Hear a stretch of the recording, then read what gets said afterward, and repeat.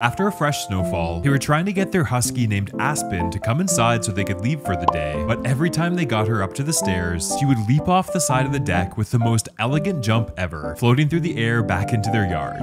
Aspen, don't do it. She continued to do this over and over, having the time of her life playing in the snow and avoiding having to come back inside at all Hey, costs. no, no, no.